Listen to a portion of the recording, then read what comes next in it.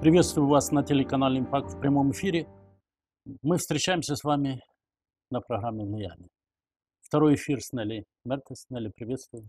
Приветствую. Первый эфир был интересен. Он вызвал интерес и нек, некий, некий даже резонанс.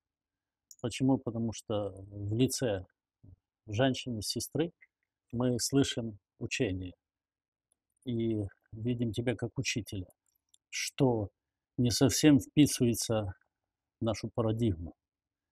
Но это была интересная тема о власти христианина.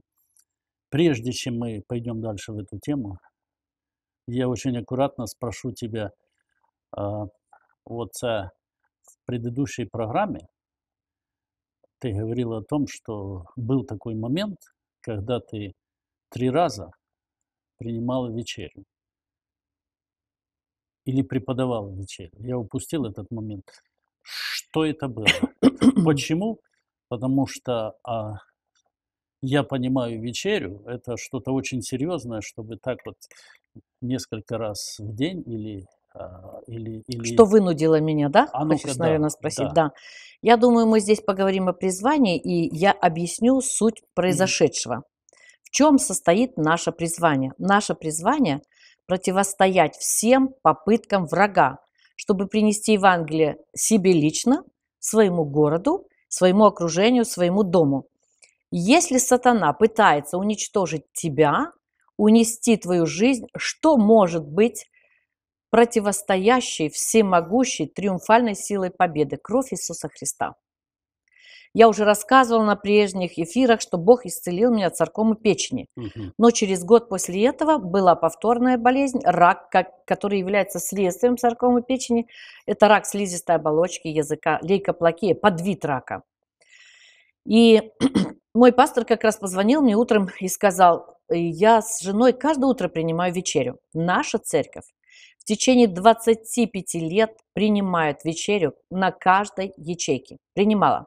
Я не знаю, как сейчас, кто как, но это было стандартом нашей жизни, потому что мы приняли решение, что мы будем жить по Евангелию, а не по предписанию какого-либо союза. По Евангелию написано так, что ученики сходились каждый вечер, принимая вечерю. Мы не знаем, были ли там пастора среди них. Если двое-трое соседей сошлись, сомневаюсь, что на, каждого, на каждые два-три дома были пастора. Они сходились между собой и воспоминали силу и милость Господа Иисуса Христа, проявленную через Голгофу, через страдания. Почему они это вспоминали? Что у них память короткая? Нет, потому что Иисус сказал, что моя сила в крови, моя власть в моем теле. Всякий, принимающий плоть и кровь, будет иметь в себе жизнь.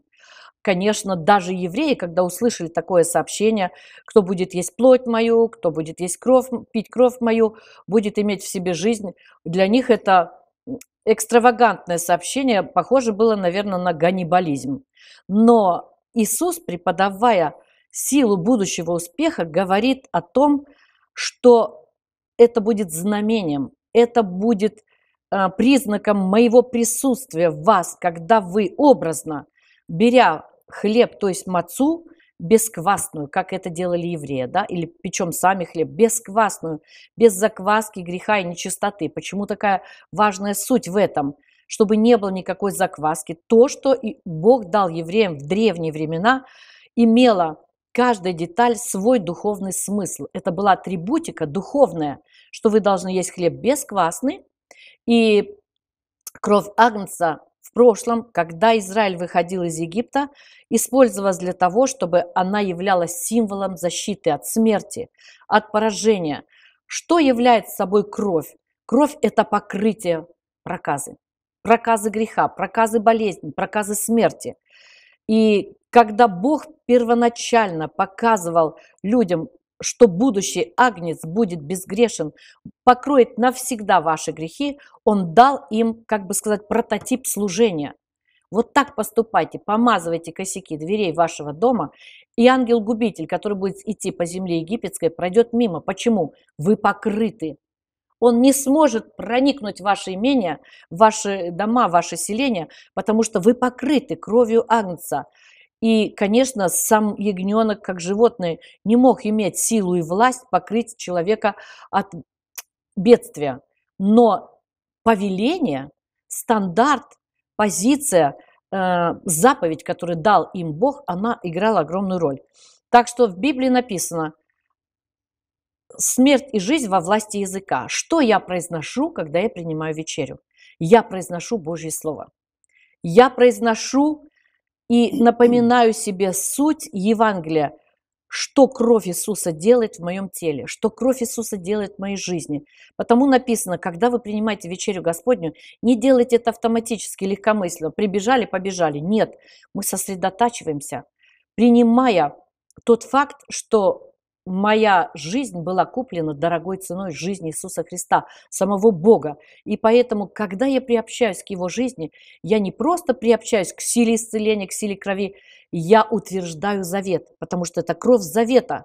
Сначала кровь завета между Израилем и Богом, а когда Иисус пролил свою кровь, это кровь завета между мной лично и моим Богом который взял на себя ответственность меня защищать, хранить, покрывать, а я беру на себя ответственность исполнять его волю, его заповеди. Поэтому вот у меня был это, это важная ремарка. Почему? То есть это не что-то легкомысленное, поверхностное вечеря. То крайне ответственный момент. Крайне ответственно. То есть это, э, вот я стараюсь уточнить, э, получив ряд, ряд вопросов, э, так сказать. От публики, наверное, да? Ну да, конечно, конечно и, и звонков, и имейлов, и смс. -ок. То есть, а, то есть это муж преподавал, а ты принимала? Или это ты преподавал? Я не буду говорить детали, никто Понятно. не преподавал. Я Понятно. принимала вечерю. И тогда, было... когда муж был дома, Понятно. и тогда, когда его не было дома. У меня нет возможности собрать соседей три раза в день, и чтобы объявить им, я сейчас принимаю силу жизни, потому что у меня рак языка и рак щек. То есть это, снова подчеркиваю, это был это был акт, единократный, нет, нет, это был акт приобщения к силе и власти крови Иисуса. Иногда муж был, он вечером приходил с работы, и на, утром его не было. Тогда я с кем принимала вечерю? Как ты думаешь? С Христом. Я говорила, Иисус, ты напротив меня. Я делаю это, воспоминая плоть и кровь. Э, наша церковь находится 35 километров от меня. Я не буду три раза в день ездить для того, чтобы найти пастора. И пастор тоже занят своими делами. Я основываюсь на Евангелии. В Евангелии написано, что они собирались каждый вечер. Кто они? Там не указано кто. Люди, уверовавшие во Христа.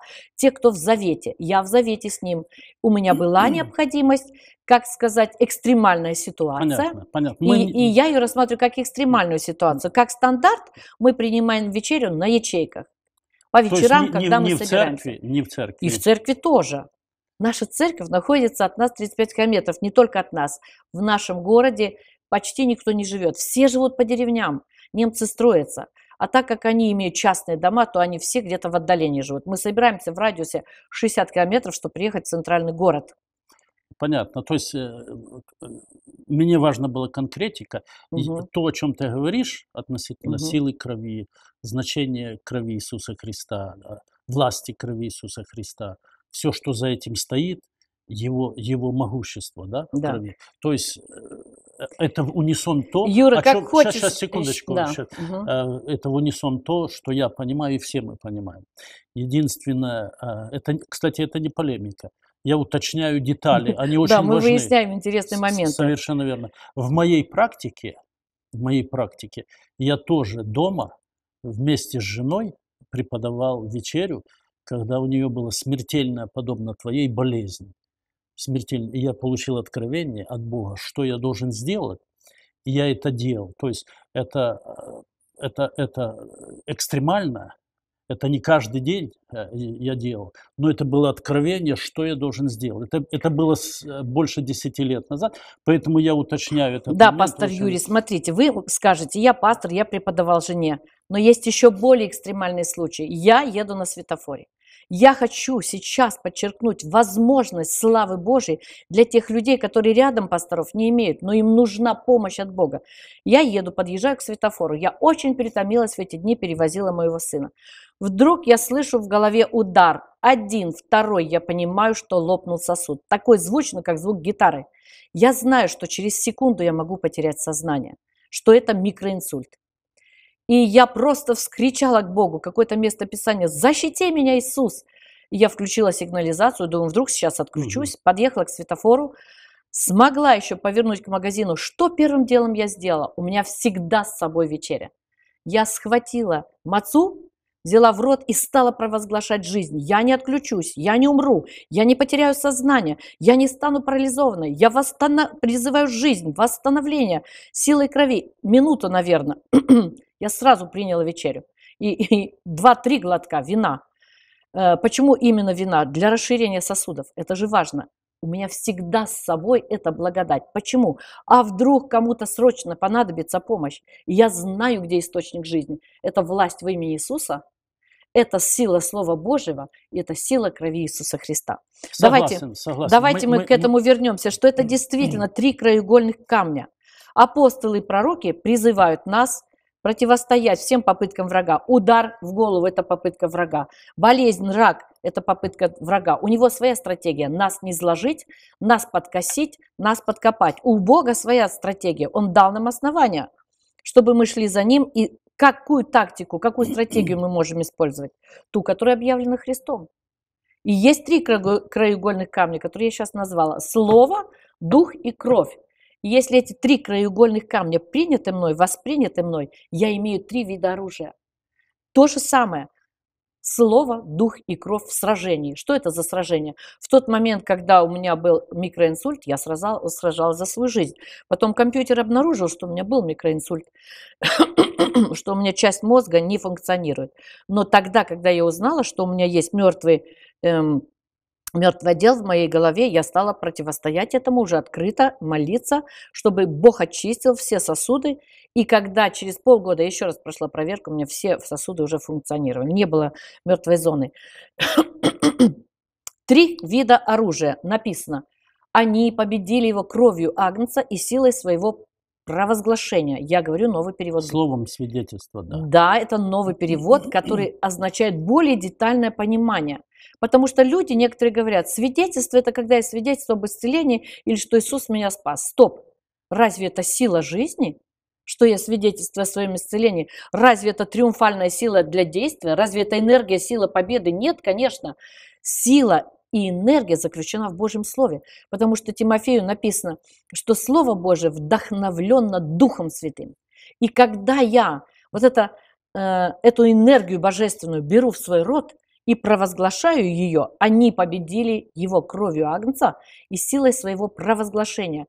Не дядя Степа должен за меня провозглашать, образно выражаясь. Я должна своими собственными устами провозгласить власть силы крови, власть силы слова для себя лично, как питание. Потому что когда я говорю, я тем текстами питаюсь, я тем откровениями питаюсь. Написано, дух человека заряжается. Когда? Когда произносят его уста. Ну, там другой русский текст, да? Когда произносят его уста. То, что я произношу, тем и питаюсь. Поэтому Иисус так четко, э, детально говорил и подчеркивал важность и ответственность слова человеческого. То, что ты произносишь, ты это впитываешь, ты этим живешь, и потом ты это импровизируешь, передаешь дальше. Итак, они победили его кровью Агнца и силой своего провозглашения. Это сильное оружие. Какое оружие? Сила, кровь и вода. Написано, а, в Библии написано, трое свидетельствует на небе, трое свидетельствует на земле. То есть три основания камня – это самое надежное строение, самое надежное геометрическое основание. Что меня заставит сдаться, если я имею эти три оружия, три, три основания? Ничего. Нету силы такой поднебесье, которая могла бы меня остановить, потому что моя сила, моё, моя позиция обеспечена Христом. Не моей важностью, не моим возрастом, не опытом побед, не, не э, членством церкви или деноминации. Нет, моя сила обеспечена Христом. Мне просто нельзя уходить с поля сражения. Почему? И потому что кто даст мне отважность? Вот это откровение о силе крови, о власти крови, о силе слова, о власти духа. Когда я молюсь на новых языках, я в прошлый раз говорила, я заряжаю сам себя, греческий оригинальный перевод, да? Молящийся на языках заряжает сам себя. Итак, у меня три источника благодати. Как я могу уходить с поля сражения, когда мне все виды оружия предоставлены Христом? Конечно, из-за того, что Бог дает мне откровение, я размышляю над плотью Иисуса. А что я размышляю над телом Иисуса? Как э, холодное или горячее, э, пресное или не пресное, вино или, или сок? Нет. Я размышляю о той духовной сущности, которая вложена в плоть и кровь Иисуса. То, что Он сам объявил, я, раз, я размышляю о силе Его присутствия. Почему? Потому что я знаю силу завета. Что первоначально принесла кровь Иисуса Христа? Мы вступили с Ним в завет через водное крещение. Мы через водное крещение были сораспяты вместе с Ним на кресте. Значит, через водное крещение мы как бы образно, аллегорически присоединились к силе креста, мы присоединились к его смерти, а значит и к его воскресению. А, так как мы уже сораспяты с ним, теперь что? Какая фаза? Вторая фаза. Теперь мы совоскресли с ним. А что дает нам сила воскресения? Завет, утвержденный кровью, возобновляется постоянно в вечере. Кровь Агнца влияет на меня Э, или даже, можно сказать, вливает в меня чудотворную силу, когда я принимаю это с верой. Не автоматически. Не потому, что я схватил там, глоток сделал, побежал. Нет. Написано, размышляйте о теле и крови Иисуса Христа. О той могущественной силе, которую вы сейчас впитываете в свой дух, в свою душу, э, даже в свое тело. Если у человека рак желудка, и он берет кровь Иисуса Христа, осознавая, Господь, я сейчас присоединяюсь к Твоей власти исцеления, он будет исцелен. Если он будет делать это автоматически, ничего не подействует. Ну и плюс нуля. Очень важный аспект. И, в право, и смотри, в провозглашении слова, и в принятии вечери, и э, вхождение в духе. Очень важный аспект – это наша богоугодная жизнь.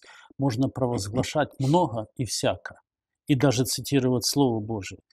Э, я обычно акцентирую внимание в беседах, что кроме всего тобою перечисленного, угу. богоугодное, богоугодное, то есть богоугодное, тут толкование даже не требуется, э, жить по слову, святая жизнь это, это то, что позволит Богу и Духу Святому угу. а, действовать в нашей жизни. Потому что есть лжеучения, я называю лжехаризматические учения, которые говорят провозглашай, провозглашай. Мы на импакте имели и не один год очень известного украинского э, проповедника, который собирал десятки тысяч десятки тысяч э, в престольном граде Киеве.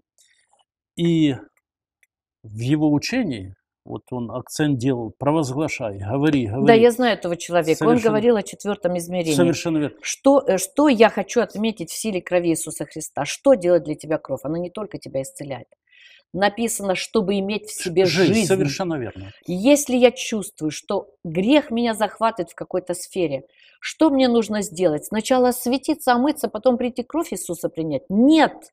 Написано, если ты чувствуешь, что поражение в какой-то области, ты должен осудить себя, покаяться, покаяться перед тем, как принять вечерю. И принять вечерю как силу чудотворения, преображающую твою внутренность. Принять вечерю от власти зависимости греха.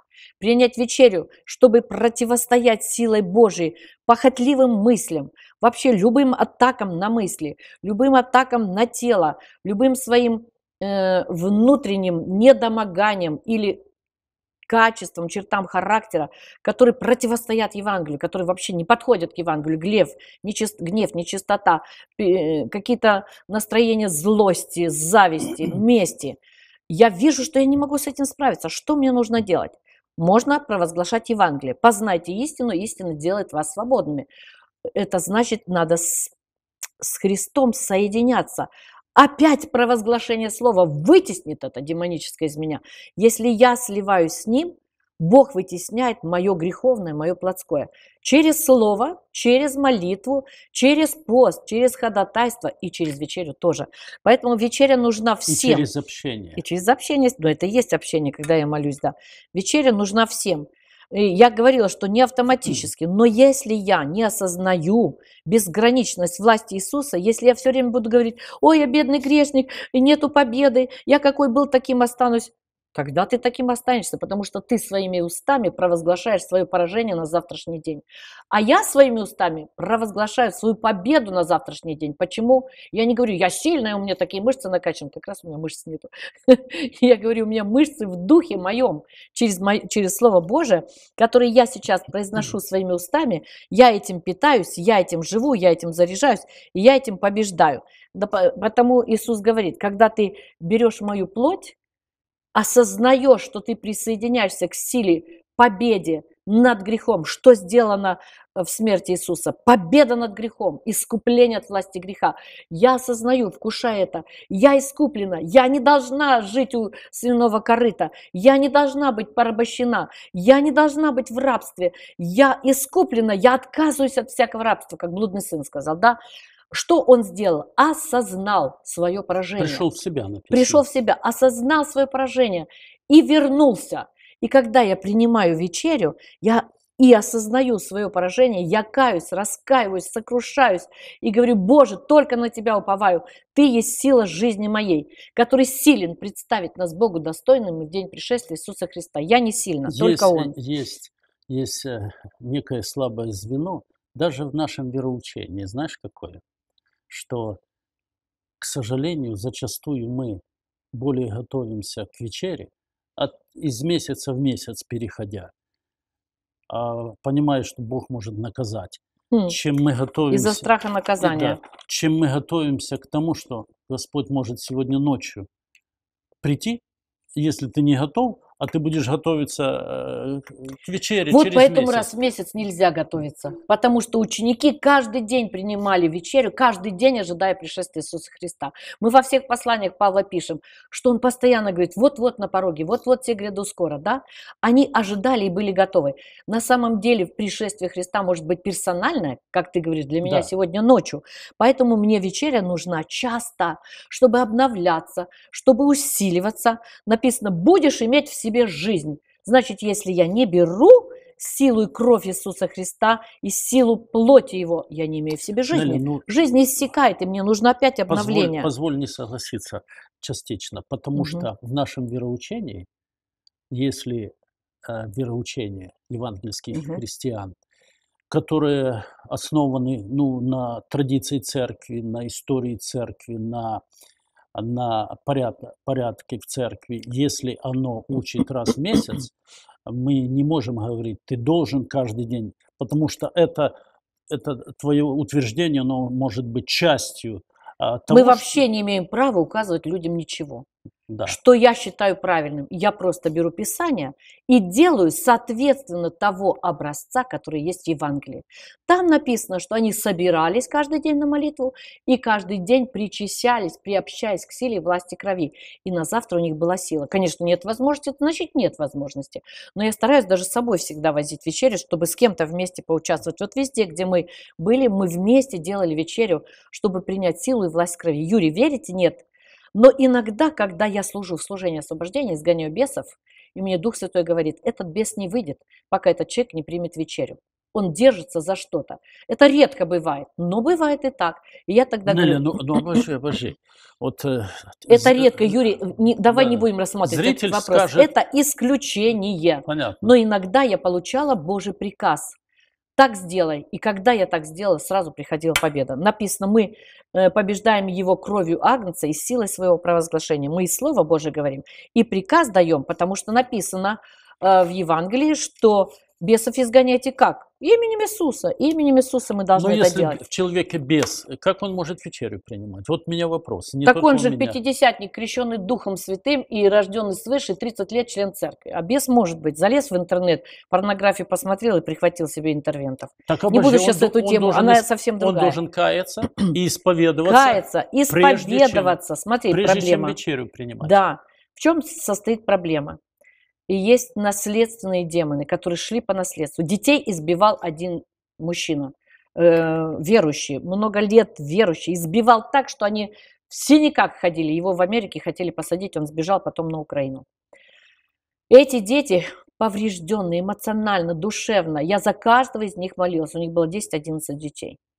За каждого молилась. Все они были разбиты душевно. И поскольку они приняли ненависть в свое сердце из-за того, что их избивали, приняли месть в свое сердце. Некоторые девочки хотели просто закончить со своим папой, который издевался над ними вот просто страшно. Я не буду не называть ни семью, ничего, я никогда ничего не называю. И за одну из девушек этой семьи я молилась, и она не могла освободиться. Она кричала и плакала, потому что боль была невыносимая, хотя это произошло уже 10 лет назад, но она как свежая была, как бы вспомнила, как все было. И дух боли и болезни и непрощения не выходил. Она не могла простить своего отца, хотя она говорила «прощаю, прощаю», но внутри не могла. И тогда Дух Святой сказал Пусть она примет вечерю, я дам ей силу прощения. Она была член церкви, нет? Да, уже много лет была член церкви. Все они были член церкви. И тот, который над ними издевался, тоже был член церкви. Ну, Бог с ним разберется сам, я, это не мое дело. Я хочу сейчас при, возвратиться к теме. Угу. Кто я?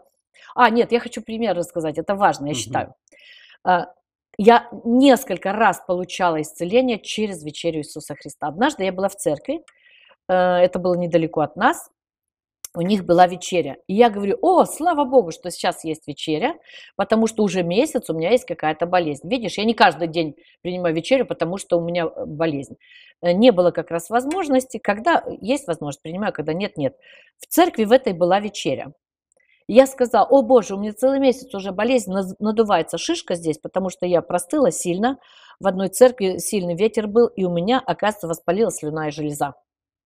И мы думали, что это лимфа, но это не лимфоузел был. Когда я смотрела на пищу, тогда надувалась шишка большая, так 4 сантиметра, и это, оказывается, забилась слюная железа песочком из-за того, что произошло воспаление. Врач мне сказал, мы не можем вам помочь, делайте массаж. Массаж не помогал. Вы можете только ожидать операции, если не пробьется слюная железа. Я тогда сказал, боже, да я же знаю, где сила исцеления, это же кровь и плоть. Сейчас будет вечеря, чудесно. Я сейчас принимаю вечерю намеренно, чтобы принять силу исцеления. Я назначаю даже цели, когда я принимаю вечерю. Сейчас для исцеления, иногда для защиты. То есть я фокусируюсь в определенное время на вечере на том, том объекте или субъекте, который мне нужно котором мне нужно принять победу. Это или плоть моя, или душа моя, или дух мой пострадавший, или душа разбитая. Мне нужна сила жизни. Итак, я принимаю вечерю, провозглашаю исцеление своей слюной железе. Вот здесь она идет, и под языком заканчивается, там маленькая, маленький кратер есть, где выходит слюна, но она не выходила. Когда я пришла домой, я обнаружила, что я смотрю на апельсин, и опять надувается эта шишка. Я сказала, Господь, так не может быть чтобы какая-то несчастная болячка могла быть сильнее силы и власти твоей крови. Так не может быть. Она обязана подчиниться. Я стояла и возмущалась. Как ты, болячка, ну, скажем, воспаление, как ты посмела противостоять триумфальной силы победы крови? А ну, вон во имя Иисуса Христа. Я просто напором сказала, вон во имя Иисуса Христа, всякий песок с моей железы. В этот момент моментально под языком надулся большой шишак, и я начала его сбивать языком. Угу. Я сбивала, сбивала, сбивала, и песочек выскочил, там, может быть, несколько песчинок всего было, но пришлось бы сделать операцию. Слюна вышла, и я имела победу. Почему я имела победу? Ведь, смотрите, произошла вечеря, ничего не, не случилось, потому что я должна была наступать. Я должна наступательную позицию иметь. Кто дал мне власть наступать на силу вражу? Да это приказ Иисуса наступайте на всю силу вражу. Павел говорит в Галатам 6 глава, да, наша брань против властей духов злобы поднебесной. Кто я вообще по факту? Кто я? Я миссионер, ты миссионер, все мы дети Божьи, мы миссионеры. Мы скажем, нет, мы никуда не уезжаем. Миссионер – это свидетель истины. Там, где ты есть, или в соседней деревне, ты тоже миссионер. На работе у себя ты тоже миссионер. Кто такой миссионер? Еще есть греческое слово «апостол», то есть высланный на миссию со властью пославшего его. Конечно, мы не ходим себе погоны, не делаем «я апостол, я апостол». Но по евангельскому назначению каждый из нас миссионер или апостол, то есть посланный. Просто понятие апостольства уже вошло в иерархию, в иерархию власти, что означало имеющий дары, силы, там Павел даже отмечает уровень апостольства, то есть апостол с властью, знамения, чудеса и силы и терпения. Но мы, как миссионеры или как свидетели, Иисус сказал, будете мне свидетелем. Он поручил нам миссию провозглашать Его Царство. Идите по всему миру и провозглашайте Царство, чтобы Его Царство утверждать на земле так же, как оно утверждено на небе. Да будет воля Твоя. Бог хочет, чтобы мы активно вовлекали свою волю в Его волю, чтобы мы просто параллельно шли с Его волей, чтобы мы исполняли, и мы призваны быть христианами. Что такое христианин? Последователь Христа. Потому что мы привыкли это название носить просто как э, лычку на, как э, бирку на одежде, да? Кто, кто производитель? Но мы на самом деле последователи Христа с мировоззрением власти, чтобы исполнить волю Божию на земле. Это от меня зависит, приму ли я мировоззрение власти, или я буду вечный грешник и плакаться, и ныть, и бегать к пастору, помогите, спасите, помолитесь за моих детей, помолитесь за меня, у меня пятка болит, у меня голова болит. Библия показывает нам, бери меч и воюй за свое здоровье. Если у пастора 5000 человек, и он хотя бы по минуте за каждого будет молиться, он спать перестанет. Поэтому церковь Э, получила власть и силы через Святого Духа для того, чтобы каждый из нас мог быть борцом за своих детей, за свою деревню. Еще раз подчеркну, периметр царства. Ты в прошлый раз мне отметил, что я должна это показывать, да? Периметр царства Господа Иисуса Христа. Над чем мы имеем власть и победу? Над грехом, над природой, над бесами, ну не над солнцем, а стихиями природы, да? Над бесами, над обстоятельствами и болезнями, над смертью, над зависимостью. В нашем реп-центре ребята каждый вечер принимают вечерю. Они, люди скажут, ну это же мы наркоманы, да, бывшие. Если они не хотят быть завтрашними наркоманами, они должны принять силу и власть крови Иисуса Нелли, Христа. Ну вот смотри, над а, нищетой. Разве недостаточно пребывать постоянно в слове? Постоянно. Вот реп-центр с утра до ночи пребывает в слове, они же не работают. Или постоянно в духе быть. Э, с тем, чтобы э, я, я, не, я не умоляю. Да, да, да. Я это не умоляю. Я имею в виду, э, в чем необходимо, что вот каждый, принимать. Да, каждый день. Что есть дух и жизнь? И слово есть дух и жизнь, и кровь есть дух и жизнь, и тело есть дух и жизнь. Вы будете иметь в себе жизнь, да? А жизнь откуда исходит? От энергии духа. И поэтому, если Иисус нам говорит, так поступайте, сие творите в мое воспоминание. Так делайте. Он не указал нам периодичность. Совершенно верно. А да, э, совершенно первые христиане решили, согласен. что так надо. Так что власть в физическом мире, как и в духовном, зиждется на Конституции. Что является Конституцией царства? Слово Божие. Любая страна имеет свою конституцию, то есть это свод законов, по которым э, царствует президент, не царствует, управляет президент. Также у нас есть не свод законов, а свод правил, который Иисус дал. Правило подчиняться Ему, главное правило, два главных правила. Возлюби Господа Бога всем сердцем твоим и ближнего твоего, как самого себя. Мы называем это заповеди. Но это правило для жизни, да? Это стратегия для жизни.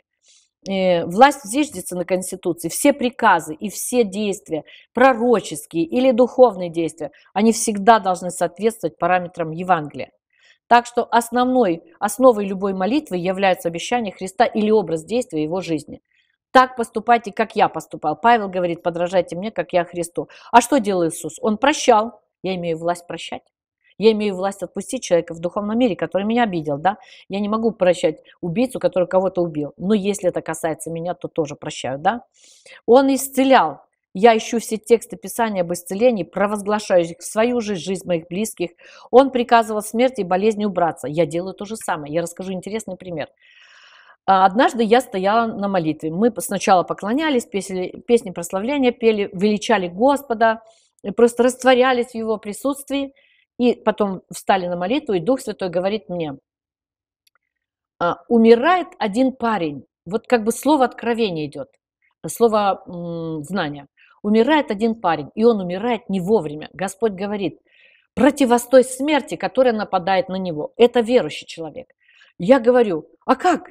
Я, я вроде бы и знаю, как бороться, но это было уже давно, лет 20 назад. А как? Я начала говорить места Писания, чтобы э, Бог защитил, Боже, защити его от смерти. Сначала паника включилась. Боже, защити его от смерти. Дух Святой говорит, приказывай, приказывай. Я говорю, а как приказывать? Я начинаю места Писания какие-то говорить. Он победил смерть. Дух Святой говорит, осталось две минуты, он умирает не вовремя. Останови смерть. Я говорю, я не знаю как. И вдруг он мне говорит, такое интересное предложение, которое я должна произнести. Я запираю для тебя ворота смерти. Для меня это была такая новость. Я никогда не пользовалась таким фактом, фактором власти. Так что, когда я так произнесла, Дух Святой говорит, я спас его по твоей молитве. Я думаю, ну какое отношение я имею к этому постороннему парню? А потому что написано, что Дух Святой ходатайствует через нас. О ком? О нас и о святых по всей земле. А в этот раз Дух Святой высветил проблему, о которой я должна ходатайствовать, чтобы я даже в ней официально или сознательно поучаствовала. Я говорю, Господь, о ком я молилась? И Дух Святой мне говорит, ты встретишь его в жизни, и он тебе все расскажет, как это было. Я встретила его лет через 10. И, и мы сверили все даты и время происшествия, точное было, когда я молилась о нем. Этот парень рассказывал свидетельство, я спросила, это было такого числа, это было такого года? Да, это было в Новосибирске, у нас было 8 вечера, у них было час ночи. Все соответствовало. Я говорю, боже мой, какая слава Божия, потому что он делает нас соучастниками его естества. Таким образом, я научилась, когда мои дети, Дани или Мириам, были в очень смертельной опасности из-за разных обстоятельств, я тоже призывала на них кровь Иисуса, я провозглашала, я запираю для тебя ворота смерти. Раз Дух Святой дал мне как бы такое категоричное слово власти. Я не говорю, что все так прям должны делать. Я так делаю, потому что я получил откровение. Потому что в Библии написано, смерть, где твое жало? Ад, где твоя победа? А, они не изложены Христом. И если Христос делает нас сотрудниками своими, мы можем противостоять начальством и властям на небесах. Конечно, мы не ходим там, не связываем властями над страной властей бесовских, над страной, над городом, если нет посланничества, потому что мы можем тоже пострадать. Мы делаем это всегда в локальном варианте. Это ты, твоя семья, твоя улица, твоя деревня, ну, может быть, твой небольшой город. Потому что написано, Иисус лишил власти кого? Поднебесья. Кто Поднебесье? Это демоны под, уровня Поднебесья, которые вредят человеку, вредят человечеству, нам лично христианам, нашим соседям, нашим друзьям, нашим семьям. Мы выступаем не против человека, мы выступаем против зла Поднебесного. Если Иисус это делал, я делаю то же самое, потому что я представитель его на земле. Когда-то я просила Бога, Господь, используй меня для защиты людей от аварий. На нашем участке пути, на котором мы ездили в центральный город, всегда были аварии. 35 километров, я сказала, мы ездили до церкви, да? всегда были аварии. И я начала молиться и спрашивать Бога, в чем дело, что происходит. Мы разговаривали с мужем и выяснили, что на этом участке пути одна женщина занимается, одна женщина имеет свою фирму. У нее есть краны, которые вытаскивают машины. И она оккультно обремененная или она оккультистка, скажем угу. так, да.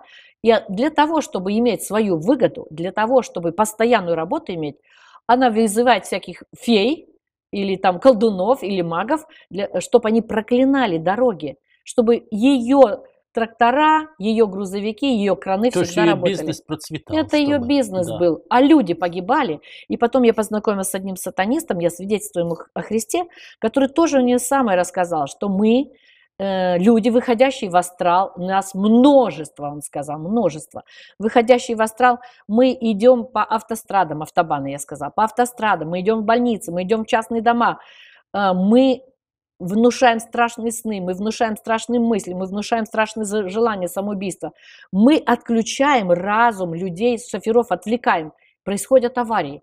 Я думаю, вы такие активисты, а где мы тогда, христиане, Царство Божие? Провозгласители Божьего Царства. Мы сидим и ждем, когда вы на нас наступите. Так не будет. И тогда мы решили молиться за эту часть автострады.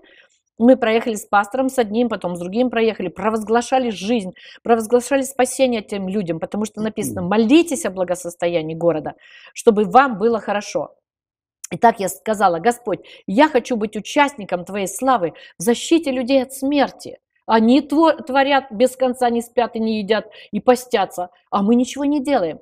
И вот такие интересные случаи начались. Как только я об этом попросила, Бог сразу предоставил мне целую серию вариантов, чтобы я могла быть участником победы и спасения людей.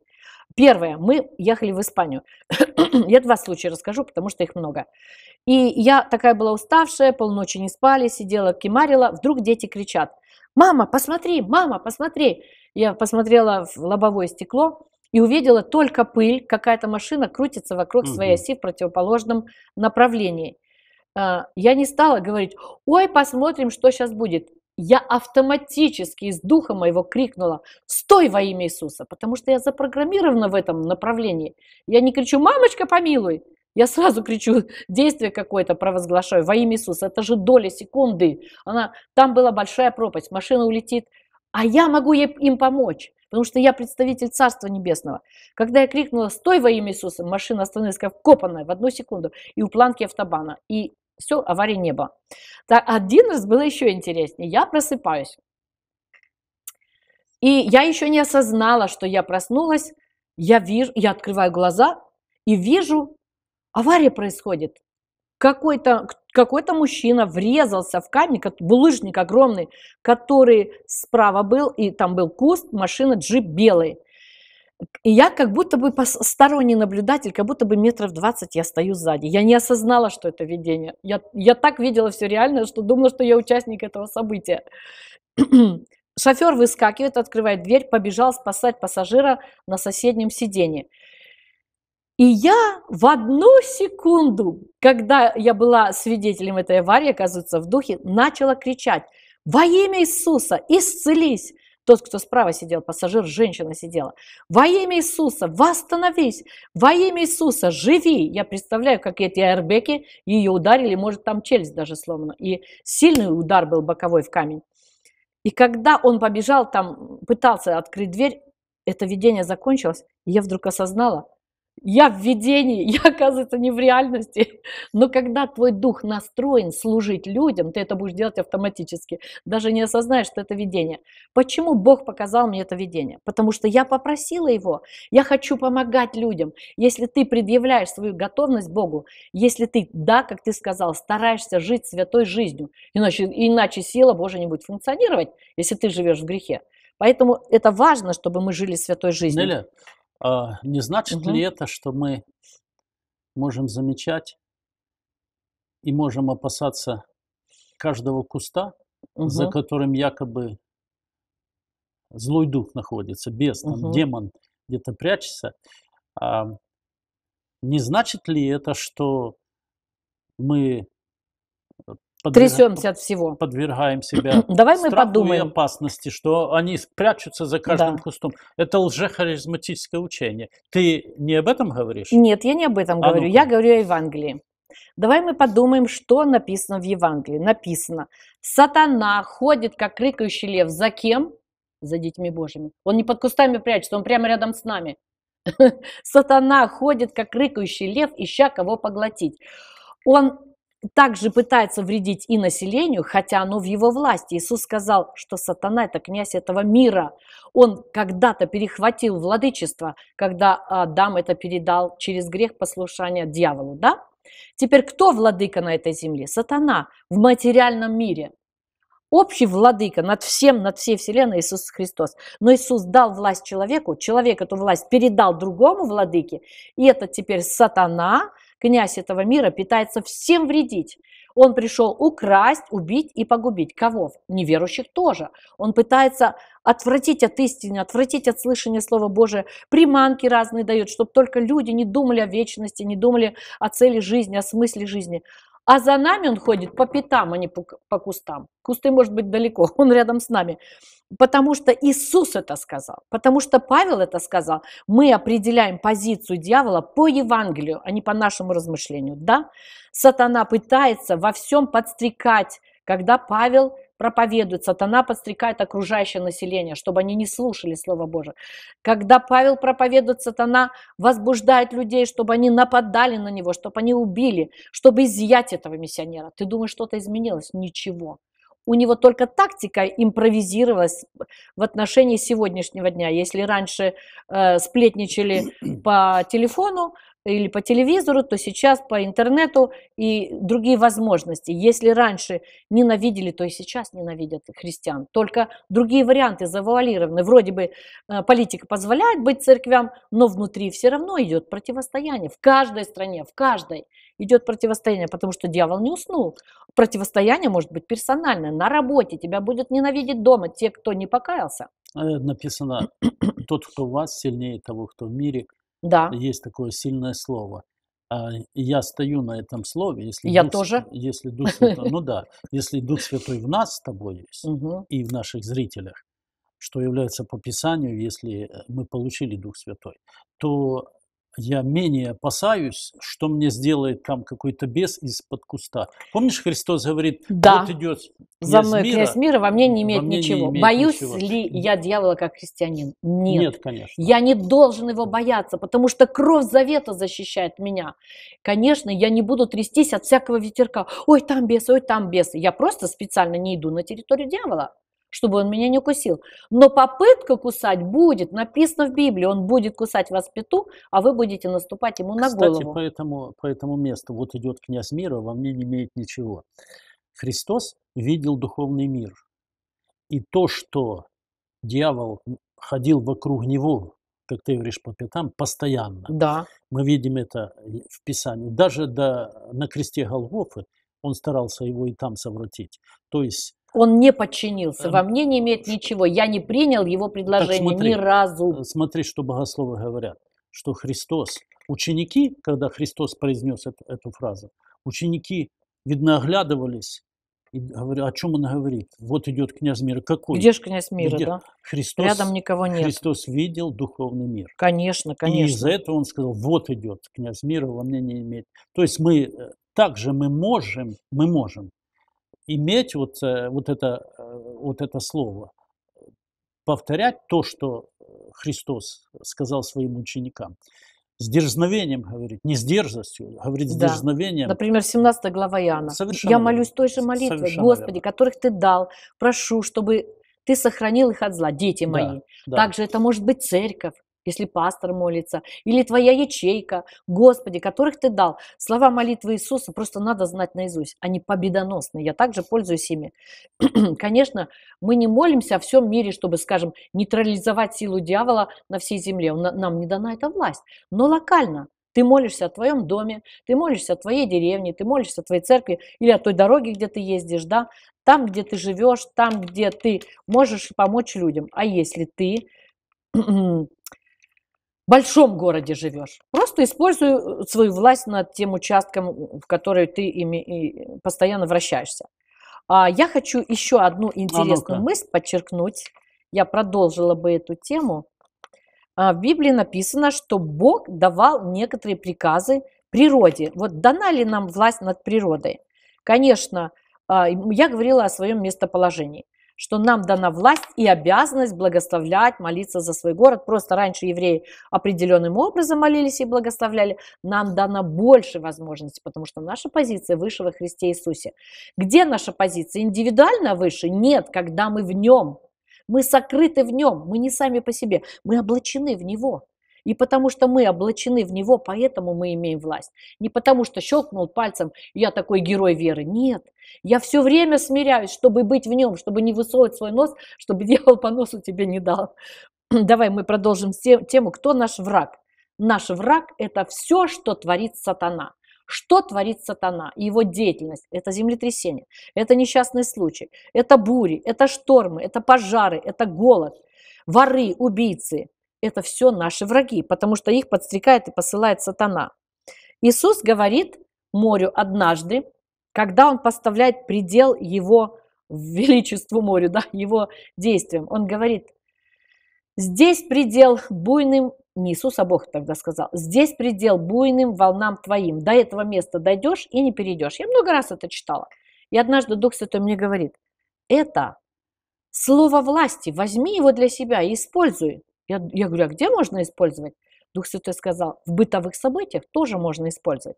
Например, происходит землетрясение. Я говорю, стоп во имя Иисуса. Мы молились землетрясение, прям за стены взялись.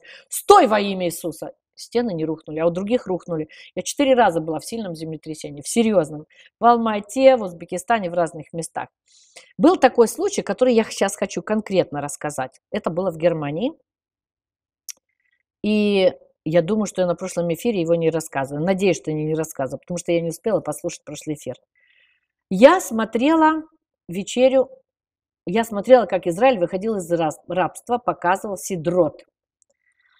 И там был такой момент, когда Агнца принесли в жертву, вся семья собралась, кушали. Ну, как бы э, сюжет исторического фильма, да. Кушали. И я подхожу к телевизору пол первой ночи. Я не рассказываю это, да? Нет, нет. Да, я подхожу к телевизору пол первой ночи. Хочу выключить его. Это был диск, который мне бабушка записала, передача Сидрота. Я думаю, спать пора, спать пора. Протягиваю руку, чтобы выключить, и Дух Святой меня останавливает. Я говорю, что это? Что это? Господь. Почему я не, могу, не хочу, не могу выключить телевизор? Я же хочу спать. В этот момент, когда я Духа Святого спрашиваю, что это во мне тормозит мои действия, я вижу видение открытыми глазами. Вот он, экран телевизора, у нас маленький такой. Вот новый духовный экран посередине между физическим экраном. Я вижу, как мы с соседями делаем вечерю. Сейчас будет еще экстремальная ситуация. Не пугайтесь, это было откровение и повеление Божие. Это многим людям понадобится в будущие времена. Я вижу, что мы делаем вечерю. И я говорю, да, у нас на следующей улице жили соседи, ну, хорошие христиане, диакон нашей церкви. Я говорю, а зачем нам делать с ними угу. вечерю? Зачем? А, это видение показывает факт, который мы должны совершить. Я спрашиваю Духа Святого, а зачем? Он говорит, идет ангел-губитель, защитите свои дома. Мы делаем вечерю, это нестандартно, я никогда это больше не повторяла, но я по повелению тогда сделала так. Он сказал, когда вы сделаете вечерю, помажьте этим вином косяки ваших дверей, чтобы ваши дома сохранились. Я говорю, Господи, никогда не слышала и не видела такого. Для меня это абсолютно новое. Но потому что ты говоришь мне, и потому что я знаю твой голос, много раз уже его испытала, я, мы сделаем это. Следующее утро в 10 утра мы делаем вечерю и жду же информации, что же такое будет, что же такое будет. Мой муж был и диакон с женой был, нас было четверо. И сделали, как Бог сказал. В 6 вечера объявляют. Идет ураган невероятной силы, 210 метров в секунду Это ветер. В Германии. Германии. Через несколько часов объявляют, ураган невероятной силы. Будет срывать крыши, будет срывать ангары, все грузовики должны остановиться, в школу нельзя пускать детей, магазины закрыть. В общем, полный, полный алярм. Будет бедствие невероятной силы. Будет машины переворачивать, на, авто, на автострадах все должны стать. Может быть, срывать провода и все, все прочее такое. Я думаю, Дух Святой, ты никогда не опаздываешь. Я позвонила в церковь, в это время была среда, шло собрание. Сказала, люди, молитесь. Я посмотрела траекторию ветра, это было все показано по интернету. Э, ветер придет и на вашу церковь, и на ваш город. Ну, наша церковь, где я была член церкви, но я тогда была дома. Они там молились. И как они молились? Они молились, чтобы ветер обошел их город и ушел в другую сторону. Они не указали, иди там на соседний город, угу. чтобы он их обошел.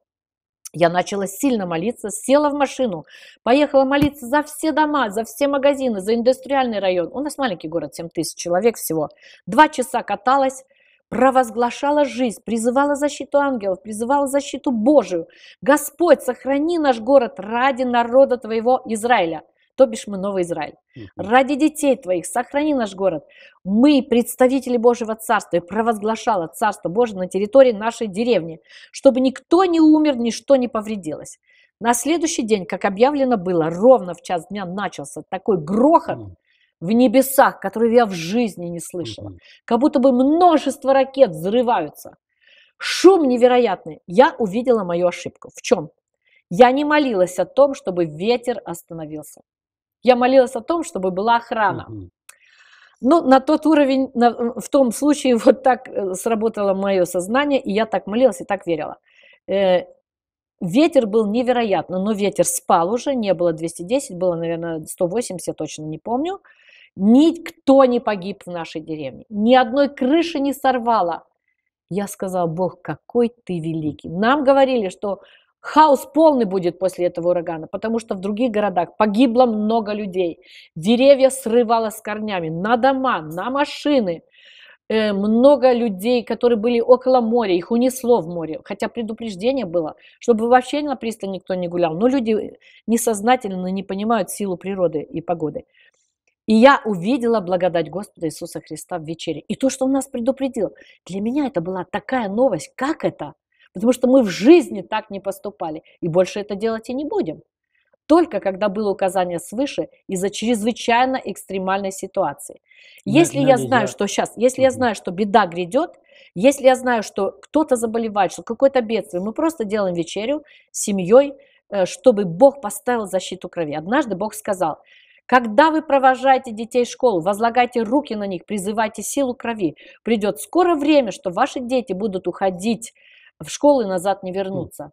Не пропускайте момента посвятить Богу ваших детей, призвать силу защиту, силу искупления, и они придут назад, а другие будут сломлены. В части этого я подписываюсь под каждым твоим словом, потому что то, о чем ты говорила, и свидетельство относительно этого урагана, это не противоречит Писанию, это подтверждается и буквой, и духом Писания, то, чем мы видим. Ну, нестандартный вариант. Совершенно верно. Поэтому здесь не, не убрать и не добавить. Это то, если Дух Святой говорит это делать. Например, смотри, мы в моей семье стараемся практически каждый день, каждый день э, э, провозглашать, провозглашать прямо в молитве, не просто ходить там бродить, а в молитве, когда мы идем ко сну или там утром, провозглашать защиту Божью и на, наше, на нашу территорию, и на наше имущество, и на наш дом, и,